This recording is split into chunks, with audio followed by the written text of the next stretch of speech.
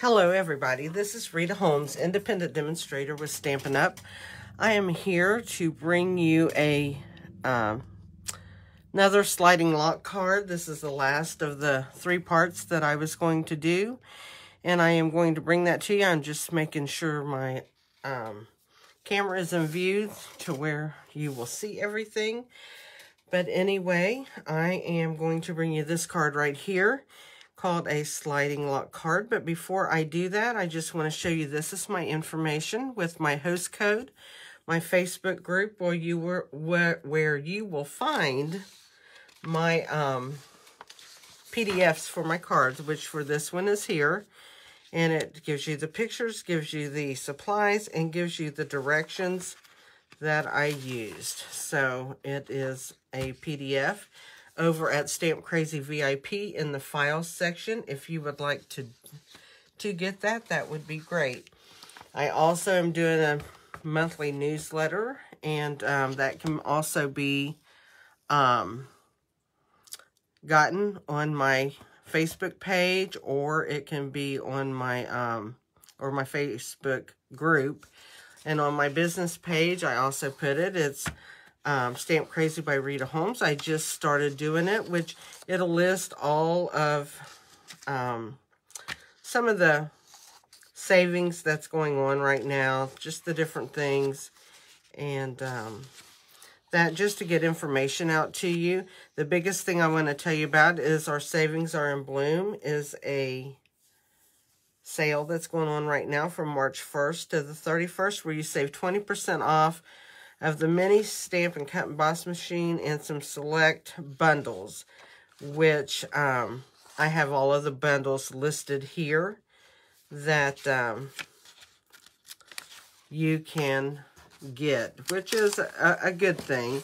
So they're all listed, and um, you, you could be able to see that. You can also go to my online store and see it there, and that is ritaholmes.stampinup.net. If you don't have a Stampin' Up! demonstrator, I'd love to be able to help you with that. Um, so you can just let me know about that. You can catch me here. You can do it, um, make a comment. You can go to my Facebook page. You can email me at ritaholmes0611 at gmail.com. We also have this Waves of Ocean that is um, going on right now. It is available from March 1st to, to the 2nd of May. And um, it will be in the new catalog, but not all of the items. The stamp set and the dies will be in the new catalog. These will not. These are while supplies last down here, okay? So I just wanted to show you that, and I can actually show you the stamp set in person. It is right here. And then the dies are right here. Excuse me. You get a couple waves. You get some, um, like, tags of different things. You get to cut out the pelican and the birds. And then we have some clouds and that in there. So, there's a lot of different things you can use in there. The papers are really busy, but at the same time, um, they're good ocean papers. It just depends on if you like busy or not, which is right here. Let me flip this open. And these are the papers. So the back sides are a main color. They look kind of watercolory with spots. This is the other side. You can use it as waters. You can use it for a lot of different things, actually. But there's the backs and then the fronts. Got a lot of nice colors in it. Some of my favorite colors, let me say. Especially this one's got a lot of my favorite colors. This is the one I said it looks like you're looking under a microscope and seeing the little the little amoebas and stuff in there. So that takes me way back to science class in high school, which was a long, long, long, long, long time ago. So these are the papers. And then they have some foils that are really pretty. They come in like Night of Navy, Coastal Cabana, and then a matte silver. And they have some jewels, which are right here, that are really, really pretty. You have like Night of Navy, um, Pacific Point, then it looks like Balmy Blue, Coastal Cabana, Bermuda Bay, and Granny Apple Green. That's what they look like to me. They're not all listed as those colors. They only list like three. But that is some of the stuff that is going to be around for you to see.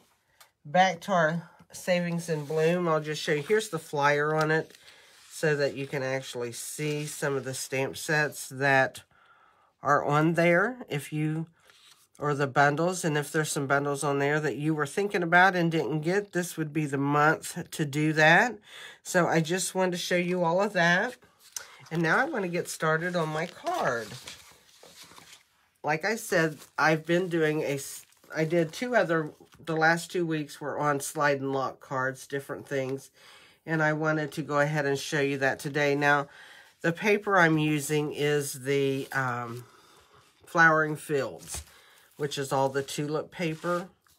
And um, here's the pack of it. It's got, they're more solid on one side. And then on, Every, every main side has tulips on it, except for that one. That's the only one that doesn't. And there's the one I'm using. And then there, just different, different tulip papers. So that's my main focal point on my card. The stamp set I'm using is Eden's Garden. I'm using the Sending Hugs on the front. And then my heart is tied to yours. Tug if you need anything on the back. I've used the layering circles for my circles right here. And then there's a actually a circle on the back. When you open this up, you'll see a circle right here. And that's what makes my sliding mechanism right here. And then the front of the card, I didn't waste anything. What I punched out here, I put on my card right here. So I don't have any waste on my card this today, per se. Well, if I can get that pushed back, probably already wore it out. But anyway, I'm using the circles for that. And you can use any size. You can you can put anything here. You could put a die cut, a flower, whatever. Um, and then you could make your mechanism. And you, if you wanted your paper like the white to show through, then you could just use a circle the same size as this. I didn't want, I wanted it to show the green like the card, the background of the card, the main card is. So I put that bigger circle to hide that white. But you can play around with it and there's a lot you can do with it. I'm going to move this out of my way. We're going to set this over here to the side to hope you can see it. I don't get it too much out of view. I'm going to bring in my um, paper trimmer. And what we are going to do, we are going to score. Now, with this card, you only get one out of a piece of cardstock. It's five and a half by ten and a half. So, um, you will get one card plus a strip that you can use for cutting die cuts or whatever. So I'm going to turn this over, and what we're going to do, and the reason why I didn't score it first is I wanted to show you we are going to score this, and we're not going to score it regular four and a quarter. We're going to bring this back just a little bit, and we're going to score so that score line is not right up against the closing of the card. And I'll show you what I mean by that in just a second. So I am going to go ahead and score right here. And then I'm going to score again at um, eight, eight and a half. I don't even remember my directions after making the card. Isn't that sad? So I'm going to eight and a half. I have to, I want to double check myself. And I'm going to score again. And this is going to be how our card is going to open and close. And with that, let me put my arm away. I don't think I'm going to need that anymore, but I will need the trimmer. What it is, is here's my score line, and then here's a score line, and that's going to fold. Before I fold that, I have to make a cut to get my diagonal right here. To get this diagonal. So what I'm going to do is I'm going to, and I turn my paper over this way so I can have this to the outside. And I'm going to cut it. I'm going to go in one inch and make a mark. So I'm going to come right here. And I'm going to take a pencil and I'm just going to make a mark right here. Okay. Because what I'm going to do is I'm going to bring this down I'm going to leave that mark right in the cutting line of my trimmer. And then I'm going to bring the bottom of it, I'm going to turn it to where that is lined up in the cutting line of the trimmer. I'm going to bring that down and I'm going to cut. And that is my score line. And remember last week I showed you the trick that if that has you can fill where you've cut. You can take your bone folder and you can just smooth that all out and you can't even tell where there was a cut. Okay, while we've got this out, I'm going to bring in this piece of paper and this is going to go, let me fold this and that way you'll be able to see it now. That is right in right before my score line right there. So I'm going to take and fold both of those over. And I'm going to, let's just go ahead and use this. And so what I'm going to do is I'm going to take this and I got to cut it down because it's one and three quarter to fit at the bottom. And I got to trim that like at three quarters, okay? So what I'm going to do is I want that at a three quarter inch mark. There. I'm going to, since this is one and three quarters, I'm going to bring this in at one inch again.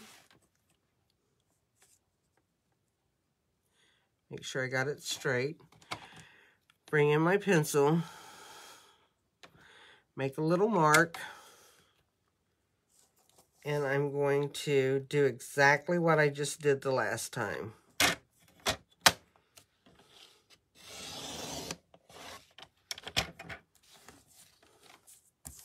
And then I have my diagonal piece for the front of my card. Now we're ready to put this away.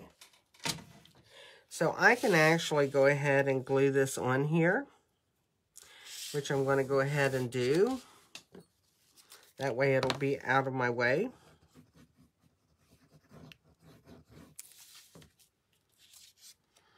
So let's glue this on. I will tell you that I am using a punch to, to do my cutout piece right here. And I'm actually, um, it's a retired punch because we don't have a punch, a like a window punch, or this is called the classic label, but there's the window punch that we had. They're both retired, but they're great for this card. You can use a die, uh, uh, die cut, but what you would do to cut, you'd have to open your card. So it would just cut right in here. And then you would have to open your card so it would just cut in here, but you would have to make sure they match. With the punch, it's really easy to do, and I'm going to show you how to do that. So this is what we've got. I'm going to take my other piece, which is cut five and a quarter by four. And we're going to layer that right here. Okay? So let's go ahead and layer that. I don't think I'm in... I got to remember to move my papers up to for you to see me in the camera.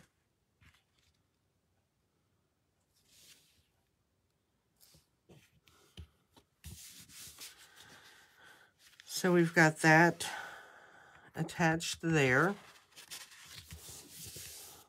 I love the tulip paper, especially these oranges and yellows. They're like my favorite color. Okay, I'm going to put the glue away for a minute.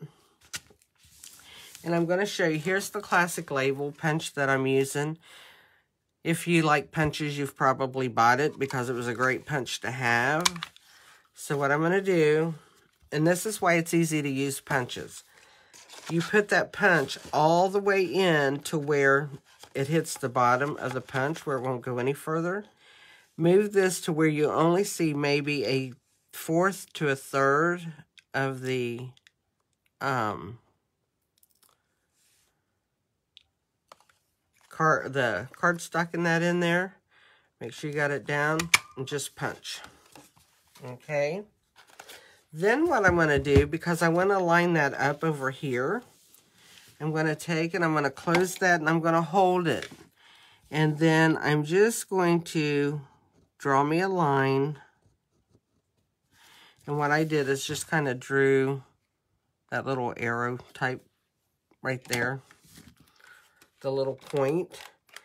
And I'm going to take my punch now and I'm going to put it all the way in. And I'm going to line that where I made that mark. I'm going to line it up. And I'm going to just punch it. I'm going to make sure I got my pencil line off. You can see it here, so I'm going to erase it because I'm going to use this piece.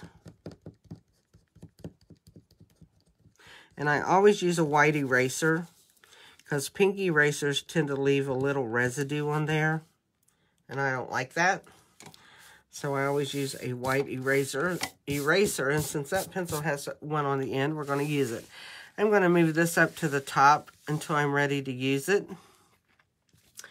And now we are ready to mainly stamp and put this together. Now the only thing I'm going to stamp on is this circle and then the inside of my card right here. So let's go ahead and do that. And I am going to do that in Evening Evergreen because that is one of the colors in my card although I use soft succulent for my card base. And this will give a nice little contrast. So I'm just going to ink up the Sending Hugs. And I'm going to stamp it on the circle.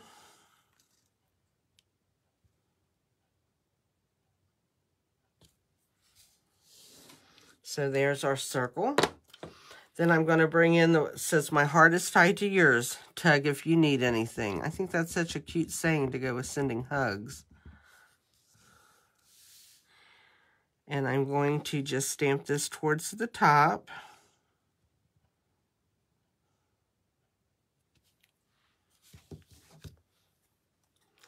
And that's all of our stamping we're doing today.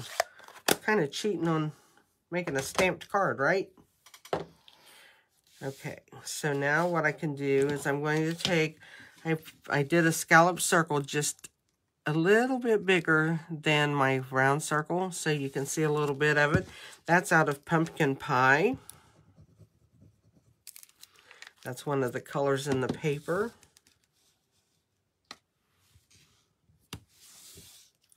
And I'm just going to put that on my right there. And I'm going to go ahead and glue this into the center. We're going to get all this out of the way, and then we're going to do our card shut. How's that? Do our locking mechanism. So let's go ahead and add this to the inside. And I got a little spot of green right there. Don't want it. Take my sand eraser. There we go. That's gone. I love that thing.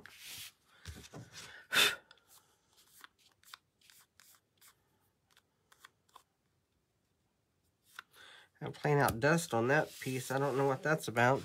Okay, let's take our little piece that we had punched out because we're not going to waste today. We're going to just add this to our card to the inside.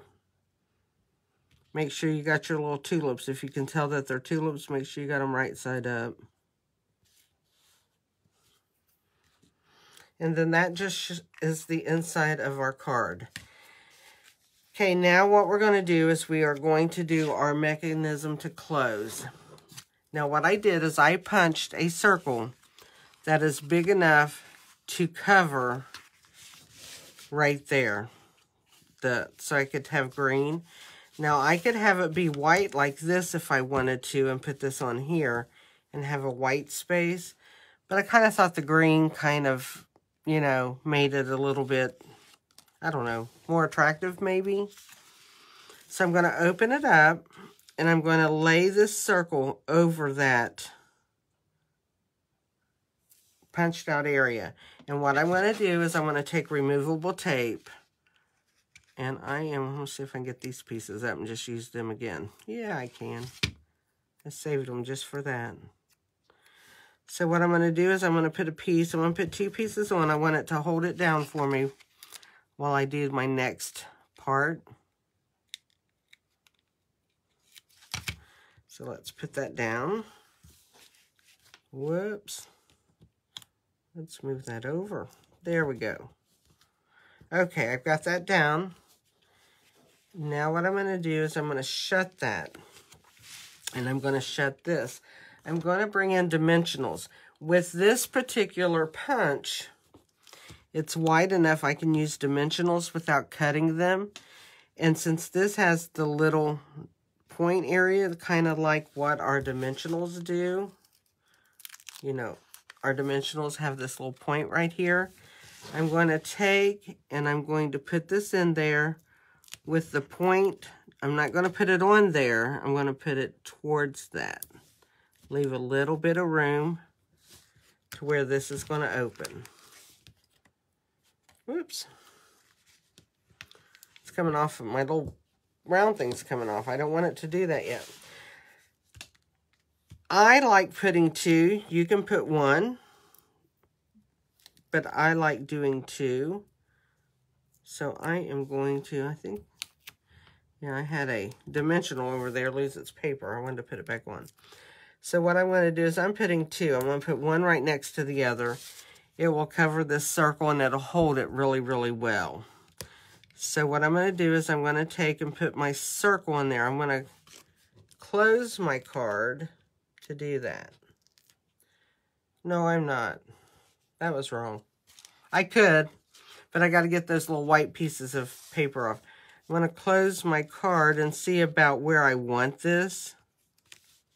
And I think I just want to maybe center that over those dimensionals.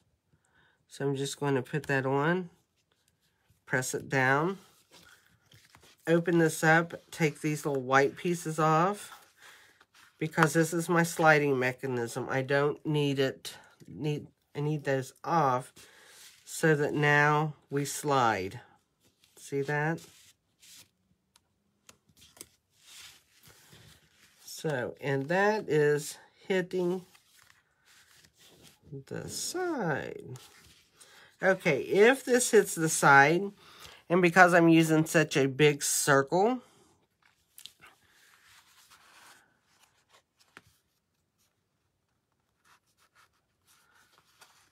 it's because of where I cut that. That's going to be okay. We are going to put this under here. And then that is our sliding mechanism. And then you can just slide it and open it. And then just put it back together and slide. And that is all there is to making that card. It's very, very simple. Now what I did is I took some of the Evening Evergreen uh, jewels that is in the main catalog and we are going to add a few of those. I'm going to use the bigger ones just because I want to use these kind of up. So I'm going to put like you don't want them in the way of the sliding part, so you're going to have to like stick stick one over here. And I think I'll stick my other one like right, maybe right there. And then when that slides over, you have one down here. Or you don't have to use those at all if you don't want to, but I always like to put a little something on my card. So there is the card, and you just open it and there you go. And then you close it. And the more you do this, the easier it gets. You know, the sliding will slide easier and easier. Not that it's hard right now.